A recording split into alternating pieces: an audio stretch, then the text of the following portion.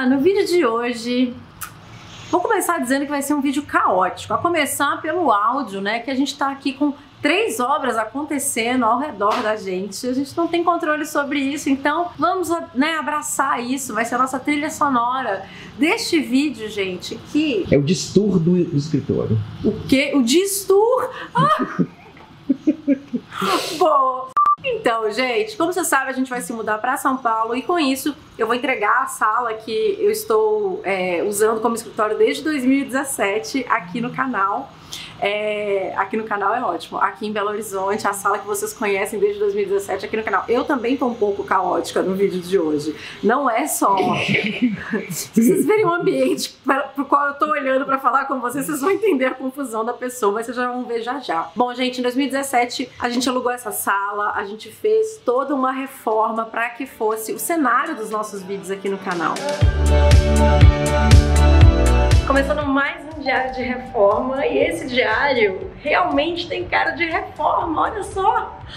Temos um vaso sanitário no meio da sala, temos tijolos temos Bibi conhecendo a sala da mamãe pela primeira vez. Filha, dá um oi pra galera. Fala oi, galera. Oi, galera. e foi um tempo muito bacana que a gente teve aqui, assim, tanto essa parte de planejamento, de pensar no cenário, de como que a gente queria montar. Então tem a cozinha montada, porque na época a gente tinha o chefe a chata, tem um cantinho que eu recebia as pessoas para conversar, tem a área de trabalho que durante um tempo a gente realmente vinha trabalhar aqui é, com a equipe. Eu vou ficando arrepiado, olha isso. Tem esse cantinho que você tá, que a gente gravava moda sem chatice. Tem esse cantinho que era do moda sem chatice. É, é até um cantinho que mudou, não sei se você lembra. No é... início tinha um papel de parede, depois a gente pintou com a parede meio lilás. Enfim, a gente viveu muita coisa legal aqui dentro. Se você gosta de batata palha, comenta aqui embaixo. Deixa seu like nesse vídeo, se inscreva aqui no canal, porque a gente ama também. Tchau, pessoal! Mas a gente está encerrando um ciclo, como você sabe, a gente vai se mudar para São Paulo e com isso a gente precisa, obviamente, resolver essa sala, né? Que ela tá cheia de coisas.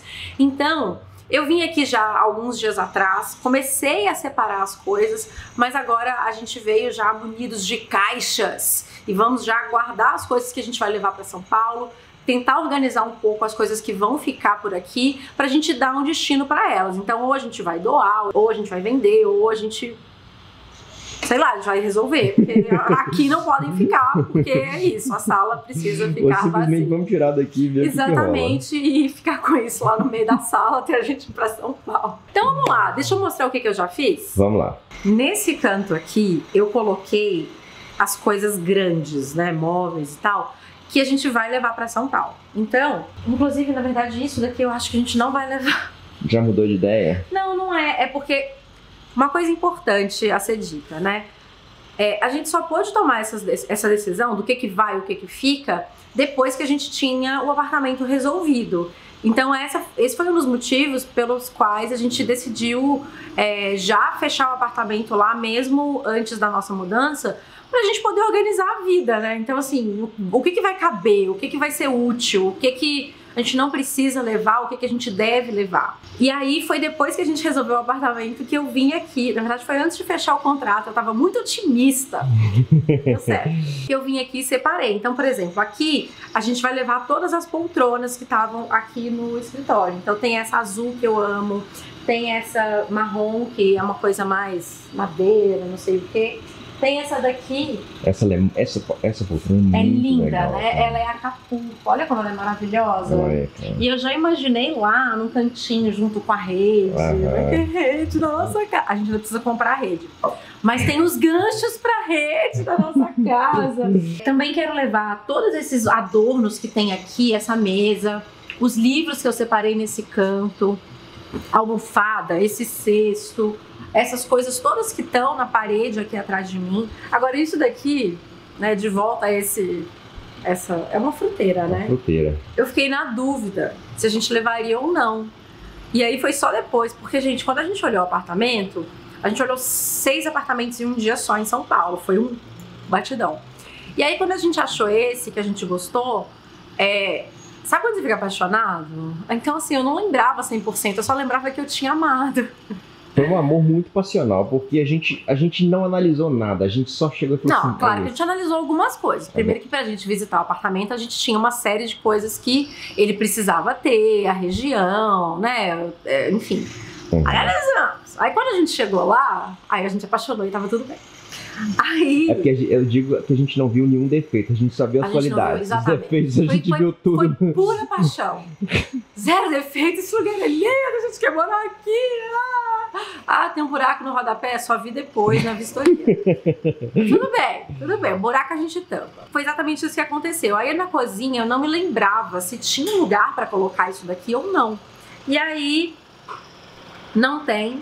E não precisa, já tem um cantinho lá que vai servir como fruteira pra gente. Então a gente não vai levar mais isso. Vamos, licença aí que eu vou tirar isso daqui. Tá bom. Aí a gente vem para outro canto, que é esse canto aqui, que é o canto de coisas grandes que a gente não vai levar. Uhum. É, aí eu já separei aqui as cadeiras do escritório, então as cadeiras que a gente usava ali. É, ali já, já tinha umas coisas que a gente tirou de casa e já estavam aqui entralhando o escritório, porque também tem muito tempo que a gente não usa o escritório, né? É, Isso na é uma pandemia coisa... a gente usou muito pouco, né, amor? É, na pandemia a gente até veio assim um dia ou outro, meio que pra ver parede diferente, sabe? Uhum. Mas a gente não tá mais usando o escritório, porque querendo ou não, a gente né, se acostumou de novo a trabalhar de casa. E acho também que a gente tá numa fase diferente. Uhum. É, a Bia, quando a gente alugou o escritório, qual foi a nossa necessidade? A Bia era muito pequenininha e a gente não conseguia estar em casa, mesmo tendo uma pessoa é, olhando ela. A gente tinha uma babá quando ela era menor.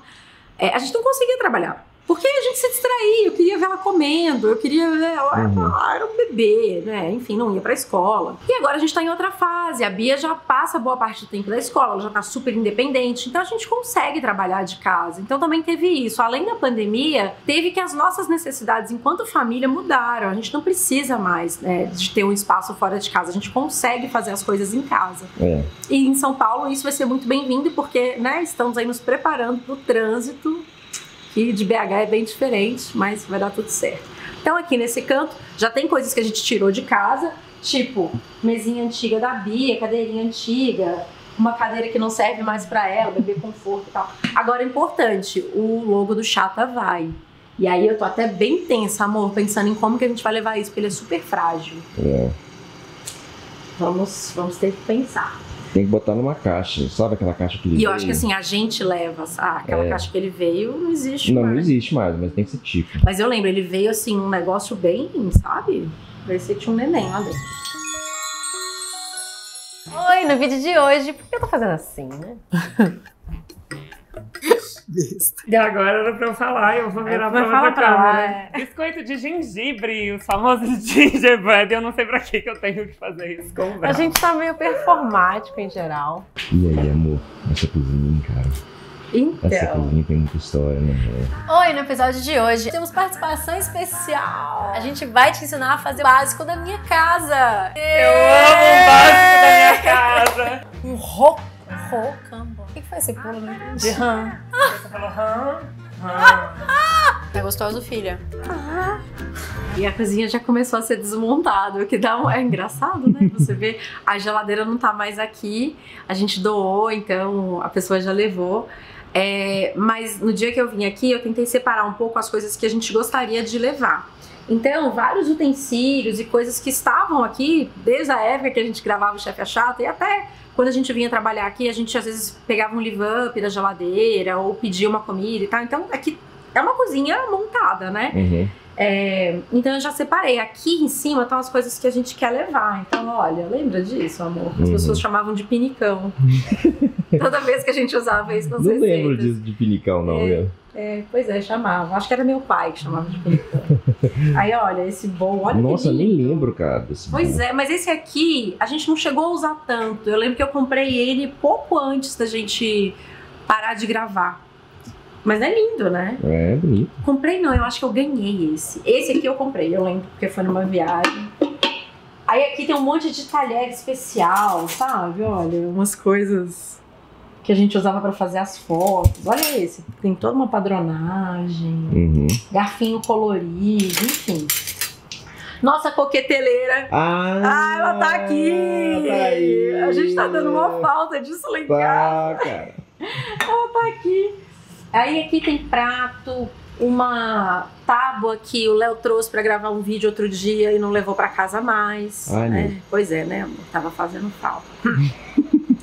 Aí esse enfeite que eu acho bonito, essas flores que tem que dar uma limpada, mas eu acho que fica bem bonita no fundo do No vídeo fica bonito. Né? Vocês já viram Ao muitas vivo vezes. ela é muito feia.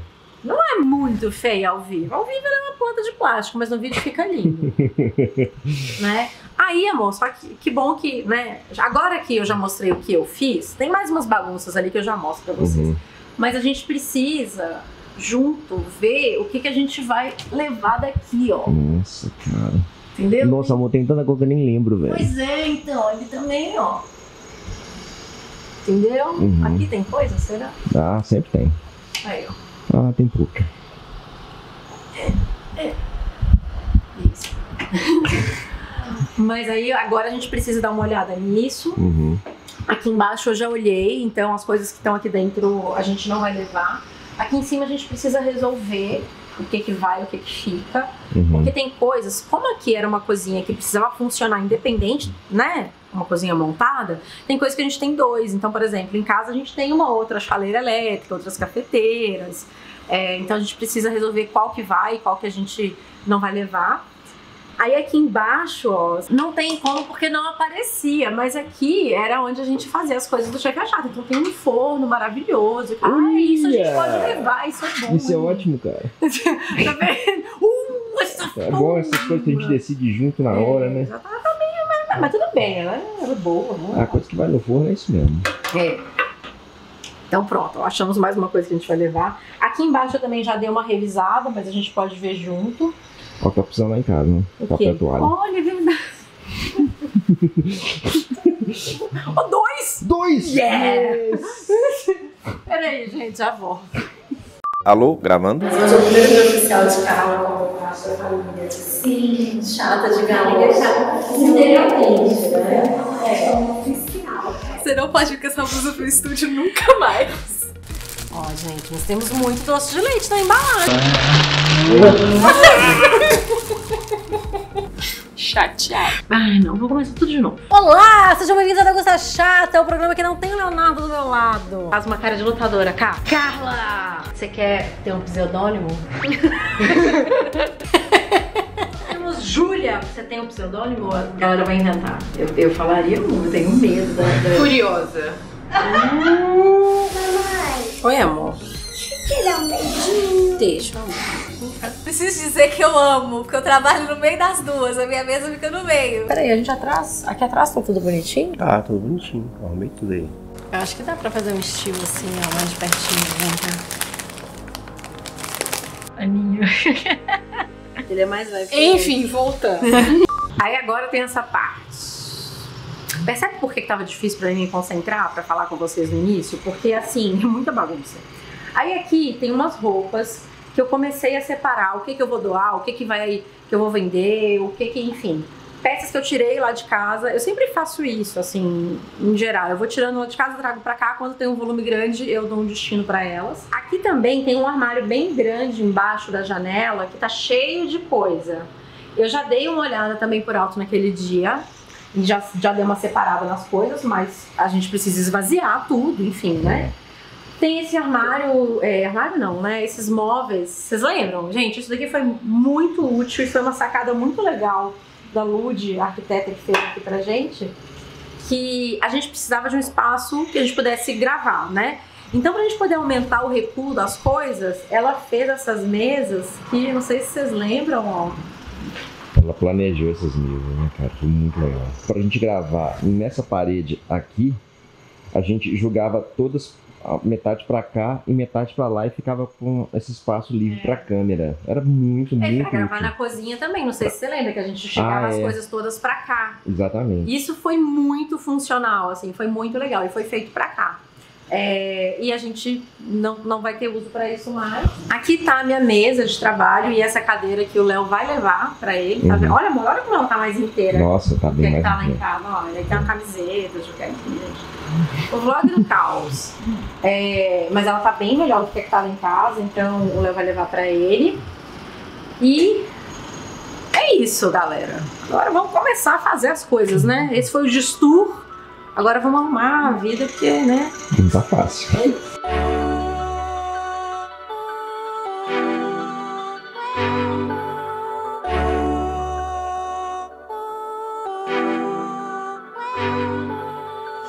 Seguinte, já estamos aqui com algum progresso.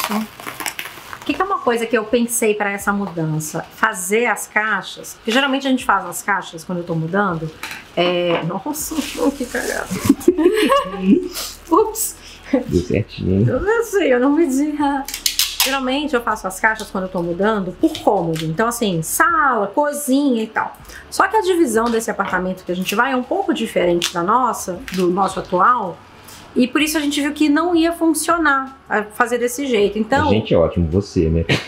é, a gente, eu e as pequenas organizadoras que moram dentro de mim, Eu não cheguei nesse nível É. ainda, não. Chegamos à conclusão de que não ia funcionar. E por isso eu decidi fazer caixas por tema. Então, assim, é, vou mostrar para ficar mais fácil. Eu tô aqui embalando o relógio. Para onde vai o relógio? Para essa caixa. O que tem nessa caixa? Adornos. Então, quadro, espelho, gravura, relógio, sabe? Tipo, enfeites. Uhum. Porque aí, por exemplo, é uma das últimas caixas que a gente vai abrir na mudança, né? Primeiro a gente abre as caixas de coisas necessárias, tipo, sei lá, garfos, facas e tal, Coisas pra se viver, né? pra se viver. Depois a gente enfeita a vida. Então, lá que eu vou decidir aonde vai cada um dessas coisas, né? Uhum. Porque a casa é muito diferente do que a que a gente mora aqui. E também porque a gente tá fazendo mudança de tipo dois lugares pra um, né? A gente tá pegando coisas do escritório, coisas da nossa casa e vamos levar pra um apartamento só. E aí, essa caixa aqui, eu espero que nada quebre, porque eu tô me achando muito infalível na hora de montar. Olha isso, gente, nem se eu quisesse, eu ia ter comprado uma caixa mais perfeita. A gente olhou pra caixa lá na loja e falou: "Ah, acho que essa tá boa". E olha isso. Não tá perfeita? É um Tetris. maravilhoso. Aí aqui, ó, o Léo já começou a colocar, vocês podem ver que a caixa tá bem mais toscamente montada. Então, obviamente fui eu que montei. Lógico que não, foi o Leonardo. É, Uhum. Né, Leonardo? E aí aqui ele começou a colocar coisas de cozinha. Então tem panela, liquidificador. São coisas mais difíceis de encaixar também, tá bom mesmo? Ah, é, foi isso que aconteceu. Entendeu? Aí a gente também já começou a montar essa outra caixa. Vamos continuar, tem muita coisa.